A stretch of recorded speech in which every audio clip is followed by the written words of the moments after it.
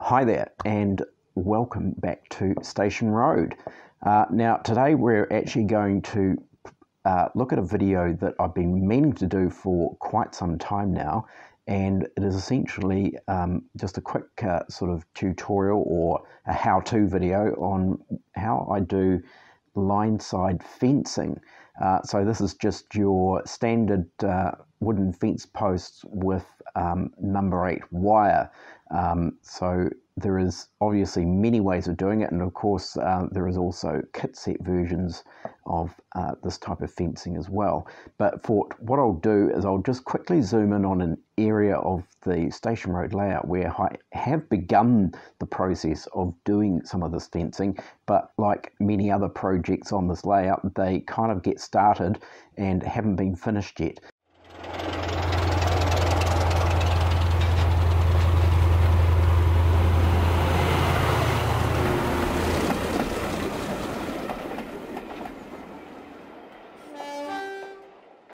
So here's a wee bit of uh, fencing that I have begun here, and um, I actually started this quite a while back, and this is as far as I've got. So essentially, what we have here is matchsticks and a bit of fishing line. Um, now, you probably really can't see the fishing line in there, and uh, we've also got the posts down here as well, running along here and then we have some more posts over here. So um, this is, well, it's a project I started a while back. I have yet to still finish it.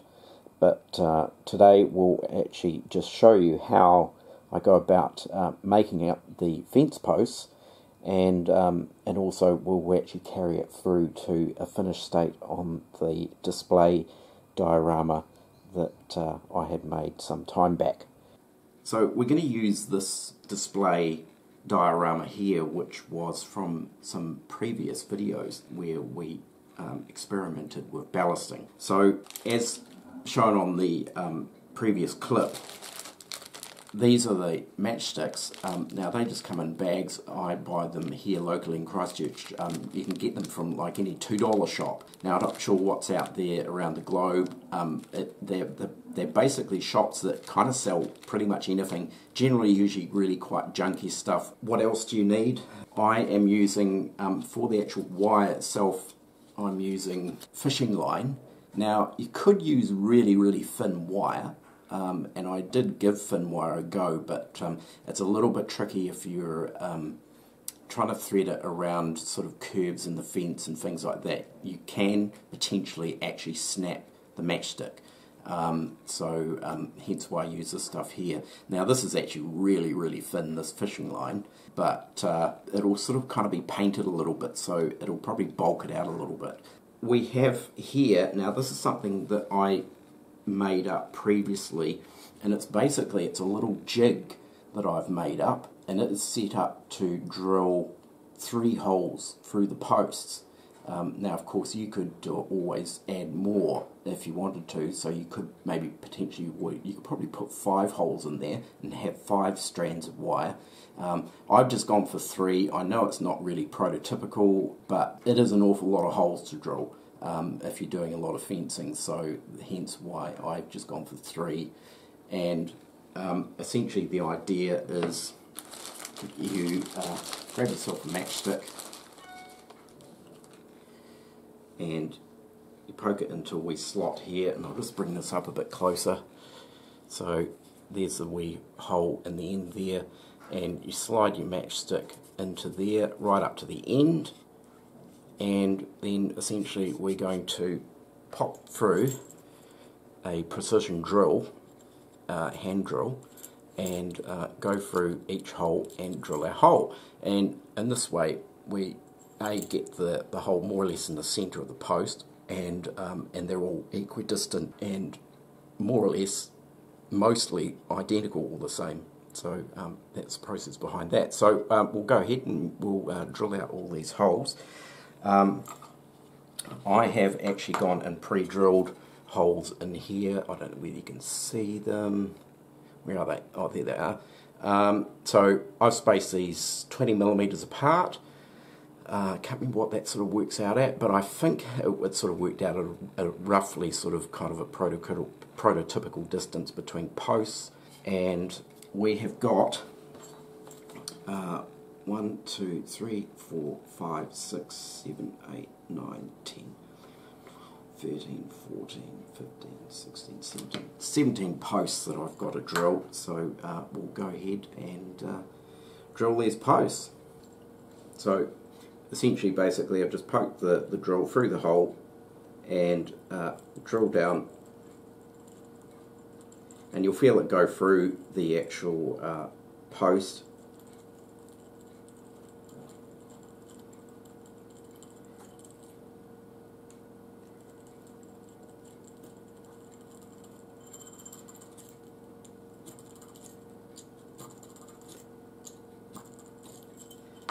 and then essentially slide the matchstick out and there you have three holes and we'll just zoom in on this and uh, these are three holes. Now you see they're slightly to one side. It really does depend but the jig does work in terms of getting these uh, holes more or less in the centre. Um, this one here it sort of worked quite close to the edge but um, it really does depend on the actual matchstick. They're not always exactly the same, these matchsticks. Some are slightly thinner, some are slightly thicker, um, but uh, essentially that's the, the process and um, of mass producing fence posts.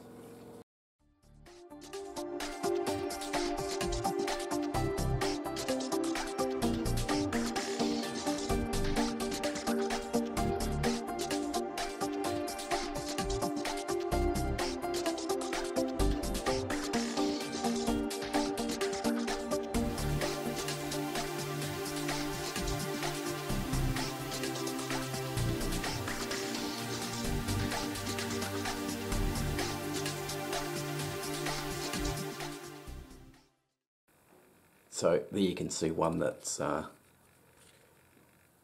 a little bit more even actually.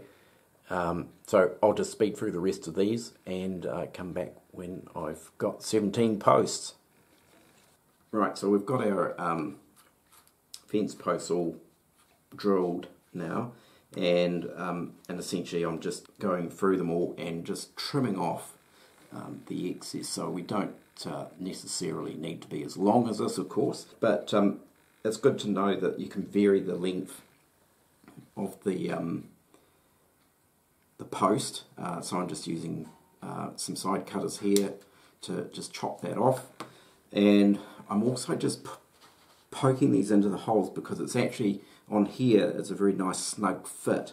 Um, so um, I'm not going to actually worry about gluing these in. Um, but uh, of course, under different situations, you probably most likely may need to glue them. Um, but this is going into a solid piece of uh, pine, um, so it's um, in the the holes that I've drilled pre-drilled in here um, creates quite a nice uh, snug fit. So we're just going to trim off all the posts and then poke these into their respective holes. Now the idea is to sort of get them more or less the same height within the uh, hole. And um, you kind of have to be careful when you're pushing these in if they're going into a, into a, uh, a snug fit um, because now that we've drilled these holes through here it has actually weakened uh, the actual strength of the matchstick. So you kind of have to be careful pushing them in because these areas here are now not as strong as they used to be and have the potential to snap uh, so you do have to take care inserting these posts. So we'll go through and trim these and um, pop all the posts in.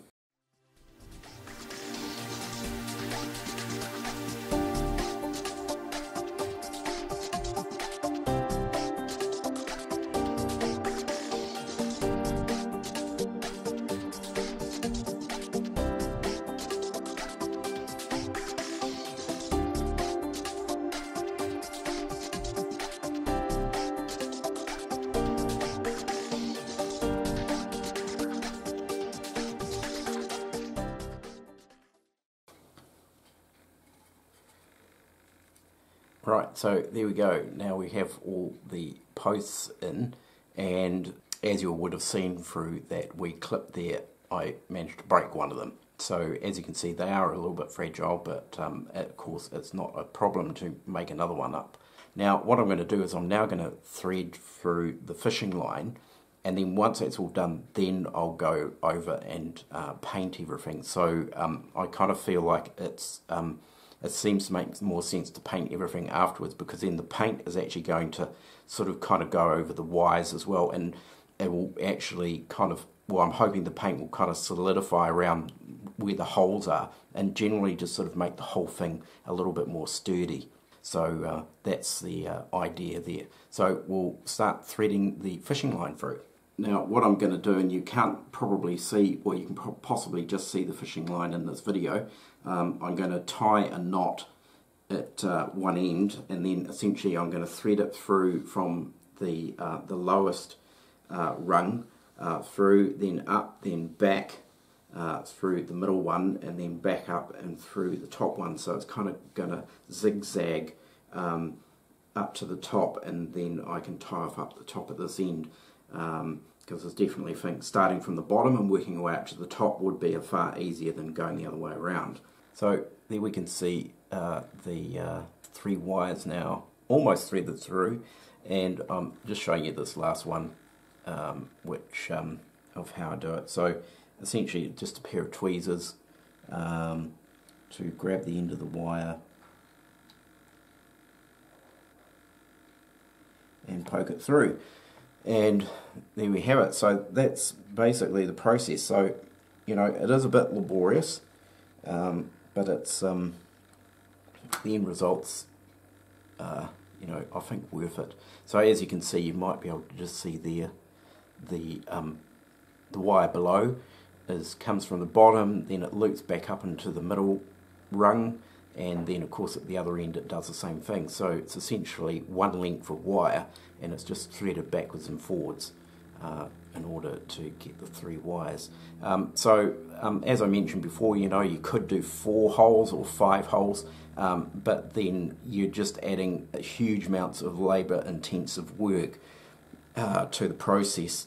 Um, and I'm, I'm not too overly fussed uh, in regards to um, it not being accurate. I mean, most fence posts probably are possibly even six or seven wires um, in real life. Um, so, um, you know, this is just really meant to be a representation um, of line side fencing. So um, the next step is I'll just tie this end off and uh, then we're going to get some paint and we're going to sort of go over the whole fence with a coat of paint including the wire as well uh, because I think the, the paint will actually sort of bulk out the wire a bit and also actually help to secure the wire, um, the fishing line actually in place uh, in between when it goes through the holes so uh, we'll get on with that now. So uh, we're just going to go over um, the entire fence, including the wires, uh, with a coat of just some very basic um, household acrylic paint. Um, this is just a uh, test pot from a local um, paint shop, and it's just a very dull, muted brown colour. You know, kind of resembles, is very similar to kind of like a, a fence post colour. Um, I'm also going to do the fishing line as well, so I'm just going to go over the whole lot, and then afterwards with the fishing line, I will go over that with a, well, possibly, I think really kind of a greyish black colour um, for, for the actual uh, wires themselves. So uh, that's what we're going to use there, and of course some uh, pretty fine paintbrushes as well. So we'll get this going.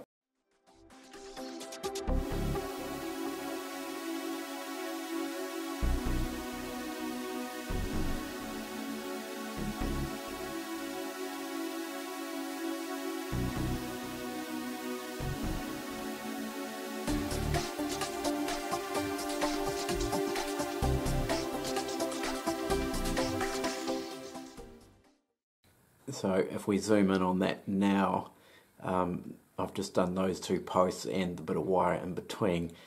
And, um, and as you can see, you know, the paint work on the wire or the fishing line does actually bulk it out a little bit.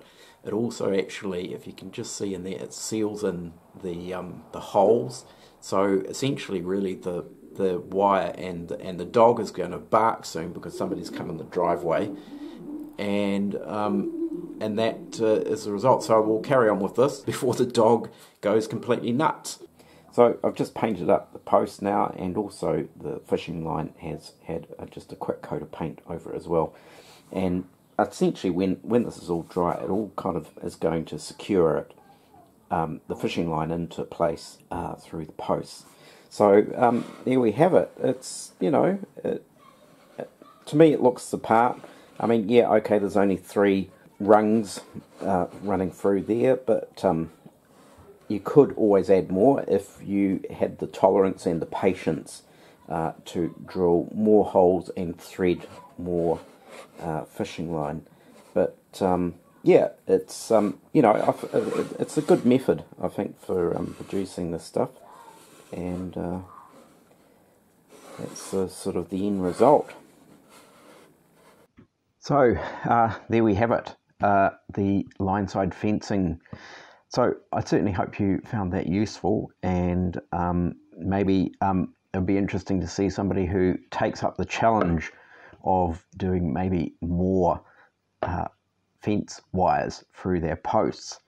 Um, now, we're just going to quickly move on to uh, a wee update for the street scene. Um, it's still not complete, like fully complete, but I thought I would just give you guys a wee update because there's been certainly plenty of interest uh, from that uh, previous video series. So um, here is just a wee update from the street scene. So there's just a few things that I've added in here. Uh, I've, um, as per a suggestion, I've added in a manhole cover, and I just don't know. You can sort of see it there. Now that's just simply, I just printed that on my printer, stuck it on a bit of card, cut out a section of road and put a manhole cover down there. And, uh, and really the other thing that I've sort of worked on, or tidied up I should say, is the entrance into the railway station.